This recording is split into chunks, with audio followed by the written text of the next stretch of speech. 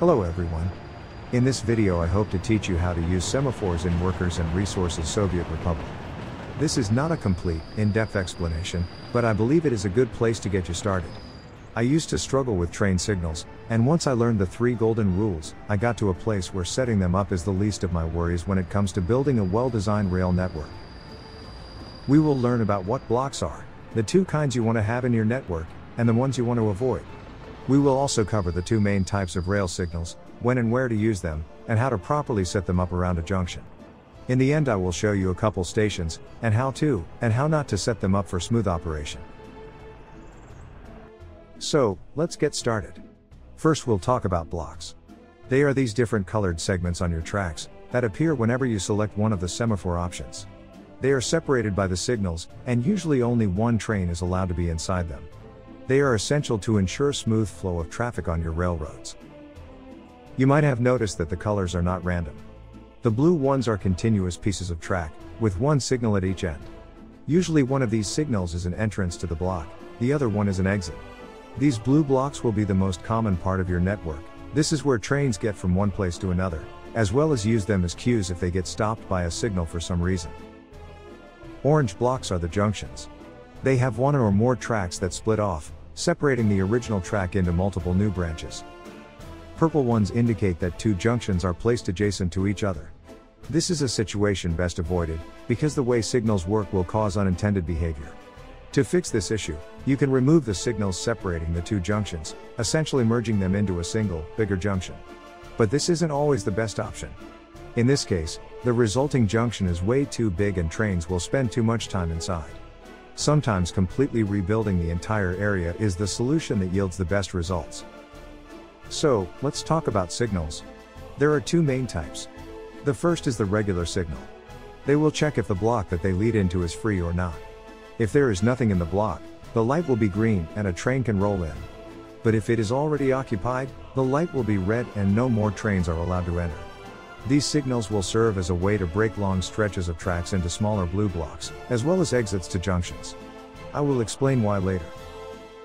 The other type of semaphore are chain signals. Apart from checking if the next block they lead into are free or not, they will also check the exit signal, and only allow a train to enter the block if the exit is also clear. They are essential in making sure junctions work without a train getting stuck inside, which can result in the whole network grinding to a complete halt. I will explain the way they work when we set up a junction. One of the remaining two options is the so-called mixed signal. As you might have guessed, they are a combination of a regular and a chain signal. Clicking them again will only change the direction. They will be most useful when creating track segments that meant to be two-way instead of the ones we have now that only allow a train to go one way. The last button is the double semaphore option. They are a convenient way of setting up these one-way double tracks, where trains always drive on the right side. Normally to do this, you'd have to click several times to place down a regular signal, then to turn it the right way. If the tracks are placed right next to each other, you can use the double signals to do the same with a single click, because the game will automatically place the correct signal with the correct orientation. So, let's put all we learned into practice. Here we have a blank junction. Since there are no signals, it is considered one single block, and there is no color overlay on it. As soon as we place the first signal, it gets its coloration. As I have said before, regular signals go on the exits of a junction.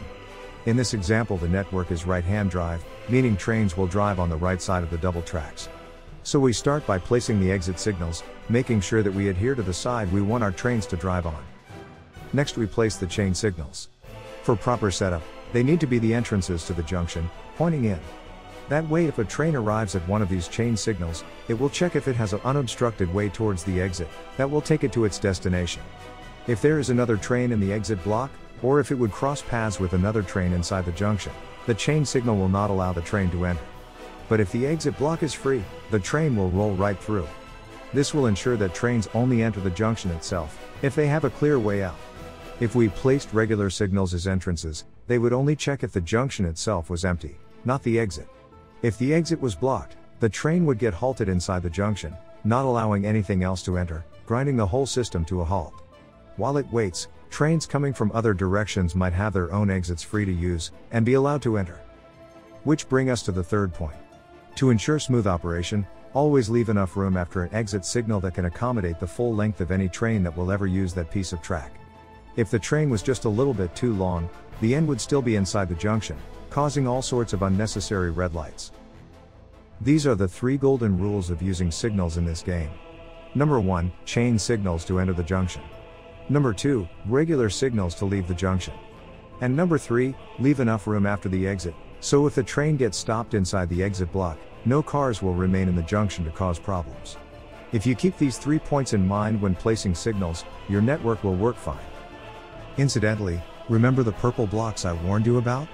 This is why they are problematic. Chain signals have to be entrances, and regular signals have to be exits. If two junctions are right next to each other and there is no blue block separating them, it is unavoidable to have signals that would have to be both regular and chain signals, pointing the same way. Now that we have the knowledge on how to use signals around junctions, let's see how they can be used around stations. We start with a simple one train setup. Let's say we have a situation where we have a station that will only ever need a single train to enter. Maybe it's an industry that produces high value goods at a slow rate, so there is no need for a quick rotation of multiple trains to pick up the goods. This is where the mixed signal comes in handy for the first time. After branching off the main line into a single track, making sure to place the correct signal types, we can use the mixed signals as both an entrance and an exit for the branch. We only have to orientate the mixed signal so that the chain side is pointing into the junction, and the regular side pointing out.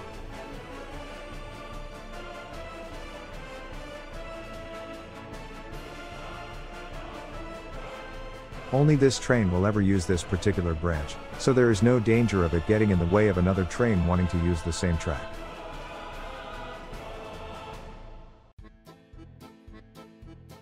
Here we have a two-way station. We have to build a crossing before it to ensure it is able to accept trains and allow them to leave. Right now, if a train rolls in, they cannot leave because the only track they can use is a one-way track, so they need a way to cross over to the side that allows them to leave. Crossings are just another form of a junction, so they need to have chain signals as entrances and regular signals as exits. Mixed signals also make an appearance here, since they are required to ensure that both platforms can be entered and exited. This setup allows both platforms to be entered if the traffic is high enough, and both platforms have a clear way of reaching the side of the tracks that will allow trains to leave for their next stop. Incidentally, I quickly mentioned before that chain signals will not allow trains to enter the junction, if they cross paths with another train. As you can see here, there are moments where two trains enter the crossing at the same time. That is because the chain signal recognized that there is no danger of them crossing paths, so both are allowed to go through if their exit signals are also green. Now you might be tempted to use this crossing setup at both ends of this station. As you can see here, that would be a bad idea. This kind of deadlock occurs when one of the platforms is already occupied, and two more trains arrive the station at approximately the same time. Since one platform is free to use, the chain signals are green from both directions. Both trains enter their respective crossings, but only one of them will be allowed into the platform itself. The train that didn't make it in time will be stuck inside the crossing, not allowing anyone to enter or leave the station in that direction. To have a roll-in, roll-out station, you can have it set up in a way that only allows trains to enter the station from one side, and only allow to leave on the other. Still making sure to adhere to the three golden rules of signaling, we can set this station up in a way that allows both platforms to be used. Also, you can see the importance of queues in action.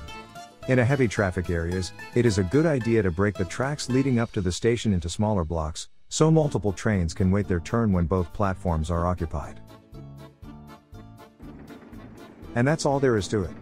Keep to the three rules, and use them to build your railroad that will keep your republic running smoothly. You can use them to build all sorts of complicated rail setups. I will leave you with some footage of my trains running on my network in my current game. If you found this video helpful, or just interesting, leaving a like and subscribing to the channel just might motivate me to make another one. Until then, have a great day and see you in the next one.